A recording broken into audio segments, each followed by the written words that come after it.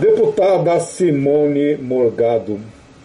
A senhora enganou direitinho o povo do Pará. Obrigado por ter apoiado e salvo o presidente Temer. Vamos apoiá-la na próxima eleição. Bandido apoia bandido.